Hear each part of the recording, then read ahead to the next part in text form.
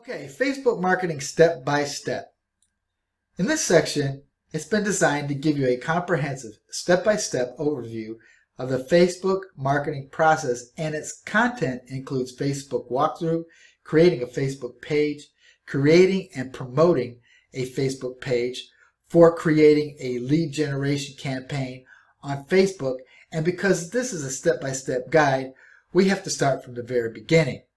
Now, Facebook walkthrough lets us keep the record straight because you're going to need to know Facebook inside and out if you plan to make the most of its marketing features. And then in this video, we're going to show you what Facebook's anatomy to show you what to use next. Now, it's safe to assume that because you are watching this training, you already have a Facebook account.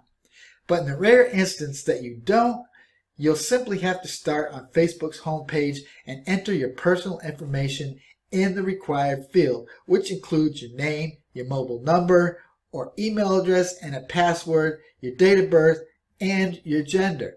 Then you'll have to simply click on the sign up and follow the on-screen instructions. Otherwise, you'll simply have to enter your email address or phone number and your password in the login fields above and click on login. Now, once you're logged into, the pages will appear.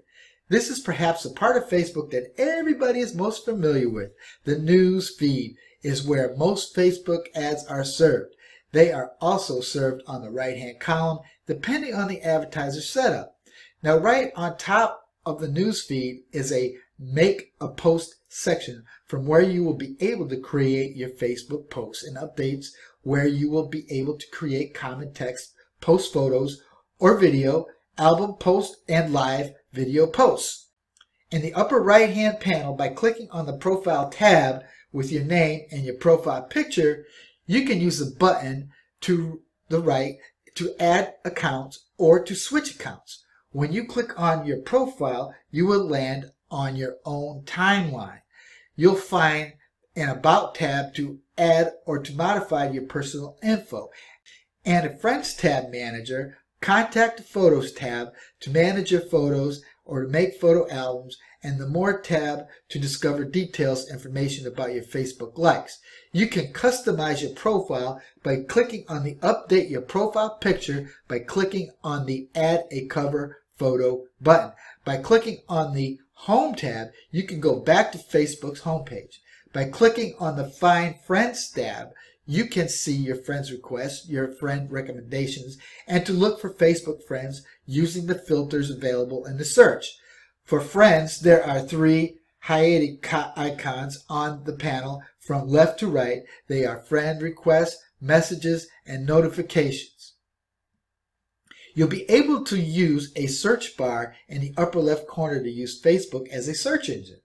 You will simply have to enter a keyword in the search bar and then do either click on the search button or to click on any of the search bar suggestions based in the keyword that you entered.